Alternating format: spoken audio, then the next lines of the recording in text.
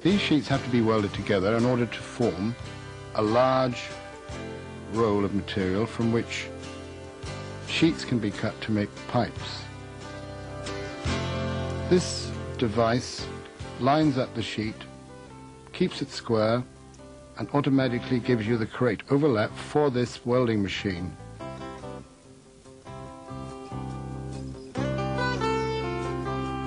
Note the use of the pressure roller coming behind the pressure wheel of the machine and then you will note certain other things such as the temperature. The temperature uh, has to be kept at around 350 degrees C. Weights are placed on the machine in order to put emphasis of weight on the, the wheel, the pressure wheel, and continually we're keeping the sheet square. Sheets are then reeled off onto a special row and then they will be cut to size. The sheet is pulled out and measured.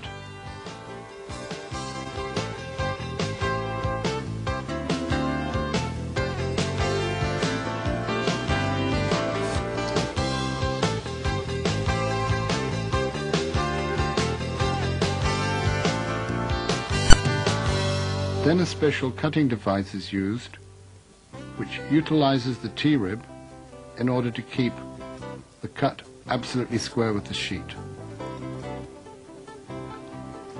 The T-ribs are then removed for a, from a, for a distance of 100 millimeter in order to provide a flap for welding from one pipe to another. This machine is specially equipped writer with a special bottom plate supplied by KST.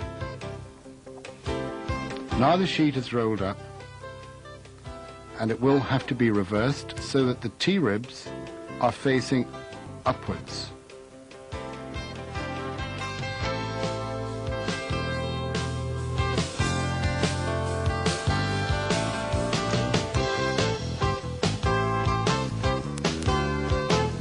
The ends of the sheet are now brought towards the middle and joined together by applying a hot air weld to the overlap. First the exact measurements are applied for the correct sizing of the sheet and then this hand weld is made. In some cases, machine welds can be made for this final weld. The sheet is now laid to the side for stock. Here at last all the components come together. The mold is lowered over the pipe core.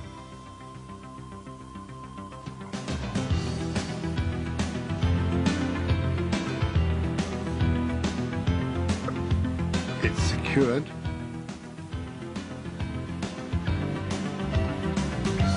lining is attached to a special jig with vice grips. Lift it and taken across by crane to the pipe core where it is put over the top of the pipe core. During this process, air coming from multiple holes in the pipe core causes the liner to fibrillate, reduces friction, and permits its easy fitment over this core. The liner is now ready for concreting. It's checked. Finally, the top will go over to prevent any migration of concrete between the liner and the core itself. The Skako equipment then delivers the first concrete.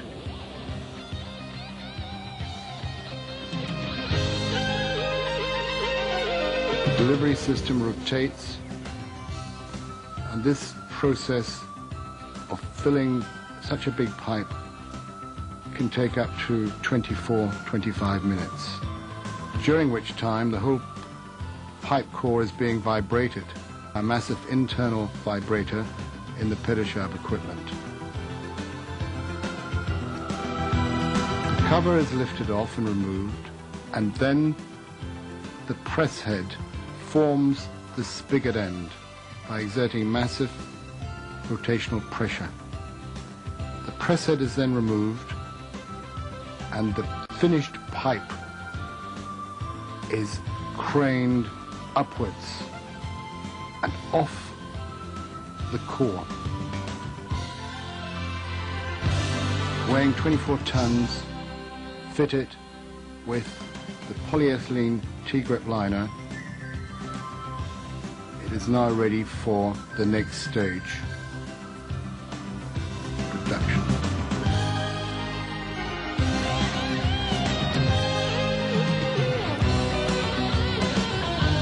When the outer mold is removed, the dressing process starts for the pipe, cleaning,